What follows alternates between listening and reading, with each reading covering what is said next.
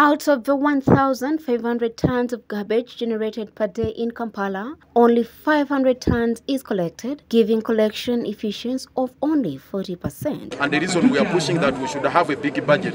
Unfortunately, sanitation uh, and solid waste management are the least funded sectors in our city. Uh, and particularly with the sanitation, it's not institutionalized. We don't even have a single coin for sanitation. The state of our, of our drainage system, because as you know, when we don't collect this garbage, our people end up putting it in the drainage channels, which end up getting blocked.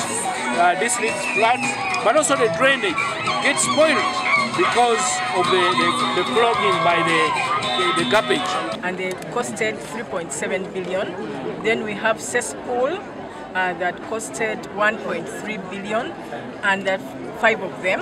And then we have five tractors that uh, costed 500 million. So altogether, it's about 5 billion. In a bid to ensure proper waste management, KCCA today distributed 10 garbage trucks to the divisions of Kampala.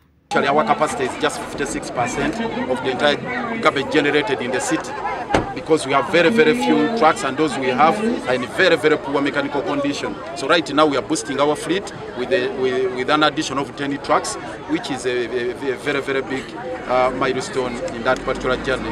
But it's just a drop in the ocean, including the cesspool, there are five. It's just a drop in the ocean because we really need quite a lot. And we have brought in 10 trucks this time. The strategy is that every parish in Kampala should have its own truck. We have 99 parishes, and uh, the 10 trucks will go to the divisions for now. Our fear is the issue of fuel, because even before we got these trucks, we've been grappling with fuel. The few trucks that we had, about two or three, are in service, uh, old and dilapidated, but they have been trying, but they have faced a, a, a challenge of fuel. Story by Sharon Nabasirie for the news.